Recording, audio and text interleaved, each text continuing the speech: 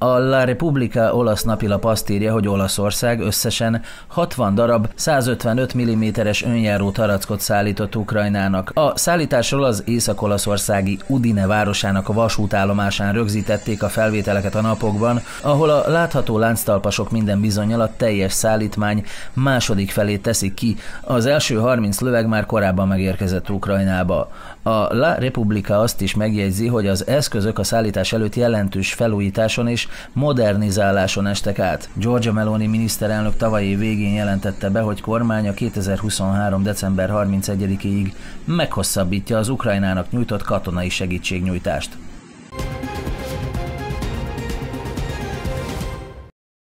A nyugati partnerek kezdetben túlbecsülték, hogy mekkora katonai segítséget tudnak nyújtani Ukrajnának, ezért a fegyverek korábban tervezett szállítási időpontjai csúsznak. Ezt Szergei Rachmanin, az Ukrán Parlament Nemzetbiztonsági Bizottságának tagja jelentette ki. Számolt be az Unián hírügynökség. Elmondása szerint a fegyverek szállítási határidőinek megsértését egyaránt okozzák objektív nehézségek és szubjektív okok. Az objektív nehézségek közé tartozik, hogy a fegyvereket úgy kell Ukrajnába szállítani, hogy azok a lehet lehető legnagyobb biztonságban legyenek, a szubjektívek pedig véleménye szerint, hogy ezen eszközök nem újak. Partnereink, amikor vállalták a vonatkozó kötelezettségeket, kissé túlbecsülték erejüket, mondta a képviselő. Börtönbüntetéssel sújtották Iránban a fegyveres erők tíz tagját a Teherán fölött három évvel előtt ukrán utasszállító ügyében. Tájékoztatta a sajtót az iráni igazságügyi minisztérium. Az illetékes katonai törvényszék a légvédelmi erők egyik parancsnokát 13 év szabadságvesztéssel sújtotta. Kilenc másik vádlott ennél rövidebb börtönbüntetést kapott. Számos hozzátartozó és a teheráni vezetés bírálói szerint Irán megpróbálta eltussolni a történteket, a felelősöket pedig nem vonta megfelelően felelősségre. Az ukrán légitársaság PS-752 Teheránból Kijevbe tartó járata 2020. január 8-án zuhant le 176 emberrel a fedélzetén. Többségük iráni és kanadai állampolgár volt. Három nappal az esetet követően az iráni fegyveres erők elismerték, hogy tévedésből ők lőtték le a Boeing típusú repülőgépet. Irán azzal magyarázta a tévedést, hogy hadereje rádiókészültségben volt egy esetleges amerikai támadás miatt, nem sokkal korábban ugyanis Teherán rakétákkal támadott olyan iraki támaszpont, pontokat, ahol amerikai katonákat szállásoltak el. Erre azért került sor, mert az Egyesült Államok előzőleg egy dróntámadásban likvidálta Kasim Szulajmánit, az iráni forradalmi gárda Alkuc elitegységének vezetőjét Bagdadban.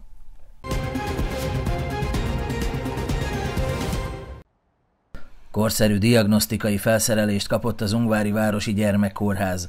A közel két és fél millió hrivnya értékű berendezést a Gyermekek a Békéért elnevezésű nemzetközi projekt keretében juttatták el az intézménybe, amelynek társfinanszírozásában az olaszországi ukrajnai gyermekek barátai nemzetközi jótékonysági szervezet is részt vett. A kórház igazgatója elmondta, hogy a most kapott felszerelés lényegesen megkönnyíti az intézményben kezelt gyermekek komplex ellátását.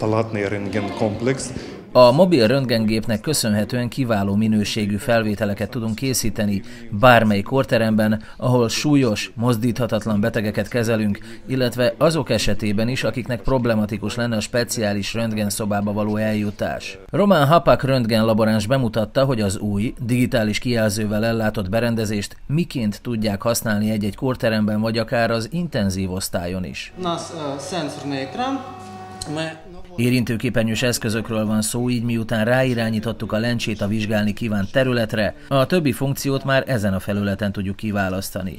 Magát a felvételt távirányító segítségével vagy szükség esetén vezetékes, vezérlőegységgel is elkészíthetjük. Az ukrajnai gyermekek barátai szervezet elsősorban a kievi régióban élő nélkülözők támogatására fókuszál, viszont érkezett hozzájuk egy megkeresés az Ungvári Városi Gyermekkórháztól, amelyben korszerű orvosi eszközök beszerzésében kértek segítséget. Ezért a szervezet kisé módosítva a támogatottak körét az intézmény segítségére sietett.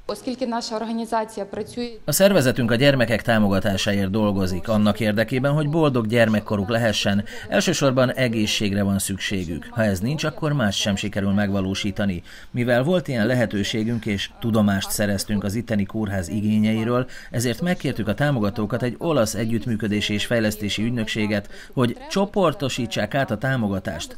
Nagy örömünkre viszonylag gyorsan meghozták az erre vonatkozó döntést, amit sikerült is realizálni. Giuseppe Chiorazzo, a nemzetközi projekt koordinátora már 8. éve él Ukrajnában. A háború kitörését követően Kárpátaljára költözött, itt megismerkedett a helyi gyermekkórház munkatársaival és az intézmény szükségleteivel. Eh, Amikor ennél a szervezetnél kezdtem dolgozni, akkor nem felejtkeztem meg az itteni gyermekkórház szükségleteiről sem. Mikor láttuk, hogy a finanszírozás terén van lehetőségünk az átcsoportosításra, akkor kértem egy konkrét igénylést az intézménytől, hogy pontosan milyen berendezésre is lenne szükségünk nekünk. Ezt követően megtörténtek a szükséges egyeztetések. A röntgengép mellett a kórház kapott egy videobronhoszkópot és egy gasztroszkópot is. Ezeket az eszközöket az intenzív osztályon kezelt beteg gyermekek ellátásánál alkalmazzák. Ezekre az eszközökre az intenzív osztályon kezelt beteg gyermekek kivizsgálásánál van szükség. A bronhoszkóp segítségével megtisztíthatjuk a beteg hörgőrendszerét és ezáltal helyreállíthatjuk a gyermekek szervezetének létfontosságú funkcióit. A fibrogasztroszkóp pedig egy protokolláris módja az emésztőrendszeri megbetegedések kivizsgálásának. A támogatók ezen kívül egy laboratóriumi analizátort is hoztak az intézménynek, amely segítségével helyben lehet gyors és minőségi kivizsgálásokat végezni. Az Ungvári Városi Gyermekkórház szakorvosai néhány napon belül már használatba is veszik a korszerű eszközöket.